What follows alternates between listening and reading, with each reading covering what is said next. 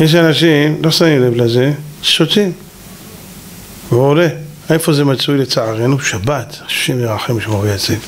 יש בתי כנסת, עוד פעם אני אומר לכם רבותיי, בית כנסת כזה עדיף לסגור אותו. שבתפילה, בקריאת התורה, כולם מדברים, אף אחד לא מקשיב לחזן, הוא בעל הקורא, הוא קורא לעצמו.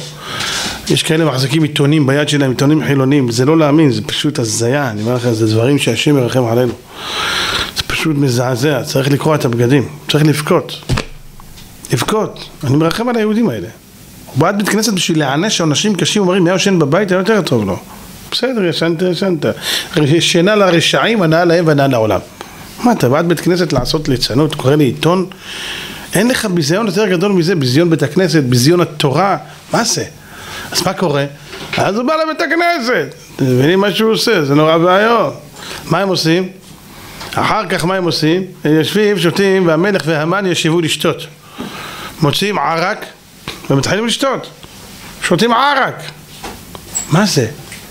בית כנסת יושבים ושותים ערק? נורא ואיום. כל אחד צריך לדעת רבותיי, יש כאלה, אתם יודעים מה, לא בתוך הבית הכנסת, הם יוצאים החוצה. סתם ככה צריך לדעת, כשספר תורה נפתח אסור לצאת מבית הכנסת. אסור לצאת מבית הכנסת. זו הלכה, אני לא רוצה להגיד לכם איזה קללה כתוב על מי שעושה את זה. אפילו, אפילו יותר מזה, אני לא מתפלל פה.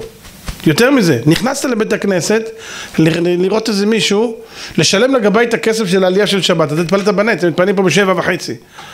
נכנסת בדיוק קריאת התורה שני וחמישי, אסור לך לצאת. שמעת? אתה חייב להישאר עד סוף הקריאה. או לכל הפחות לצאת בין גברה לגברה, שזה אומר בין עולה לעולה. באמצע הקריאה, אני לא רוצה להגיד לכם איזה קללה כתוב על זה בחז"ל. מה זה הדבר הזה? אנשים יוצאים בהפגנתיות, יושבים בחוץ, שותים ערק. עכשיו,